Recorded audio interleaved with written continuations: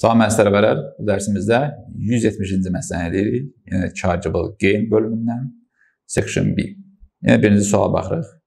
Soruşur bizdən why did neither of Zoila's share disposal during the tax year 2021 qualify for business asset disposal relief. Baxırıq minora və bizə iki səbəb lazımdır. Size of shareholding və holding period.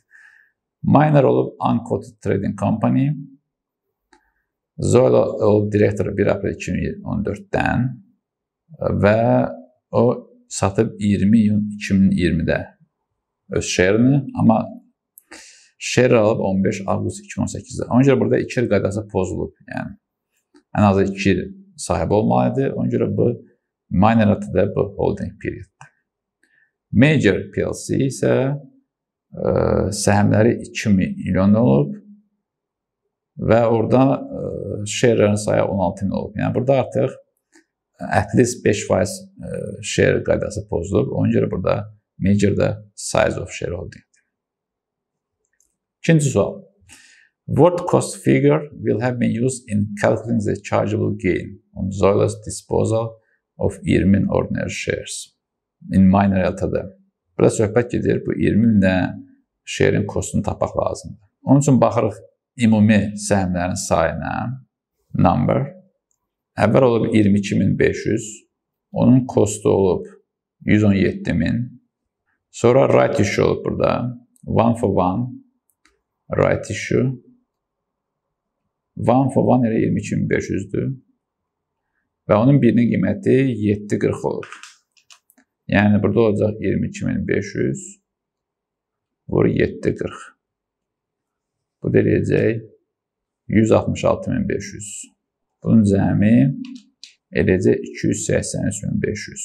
Bu 45 mindən səhmin qiymətidir və biz bundan 20 mindən səhmin qiymətini çıxarmalıyıq. Yəni 20 mini 45 minə bölüb vuracağıq 283500-ə.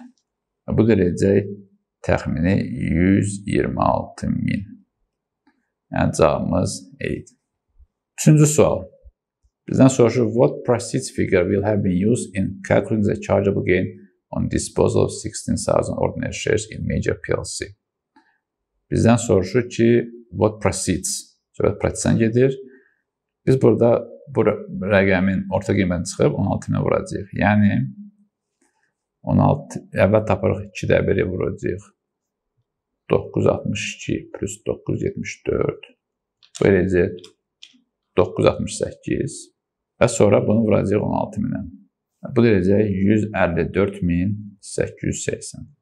Yəni burada hədiyyə verdiyindən, yəni öz oğluna hədiyyə verdiyindən biz burada 152 min yox, market value-ni götürürük. Ona görə burada biz stock exchange yarı bölüb ondan sonra e, səhmlərin sayına vuracağıq. Dördüncü sual nə soruşur? If Zoll had delayed the sale of 16,000 shares in major bits until 6 April, yəni RON gecikdirsəydi, o zaman CGT liability how long would be deferred? Təbii ki, burada ancaq 12 ay gecikdirə bilər. Ona görə cavab B-dir. 5-ci sual nə soruşur? Burada bir uzun bir siyahı var. Which of the following statements about how much CGT would have saved if she had delayed? Yəni yenə burada 16 mindən səhvini gecikdirir. Və bizdən soruşur ki, bunlardan hansı düzgündür? Zoyla would not have saved any CGT. Bu düzgün deyil. Çünki gecikdirən zaman CGT-də e, biz burada saving eləyirik. Zoyla would have saved 12300 vur 20%. Bu düzgündür. Çünki biz növbəti kəsiləndə bizim artıq annual exempt amountımız yaranır. Yəni bizdə olur extra annual exempt amount. Sonra deyir Zeyla would have saved 10600 vur 20%. Bu düzgün deyil. Çünki burada fikir verirsə 10610%-ə vurulub. Yəni 20% yox. Bizim qazancımız 20% olmayacaq. Ona görə bu e, bu düzgün deyil. E, bununla da 170-ci sualı bitirdik. Növbəti dərsimizdə 171-ci məsələdən danışacağıq.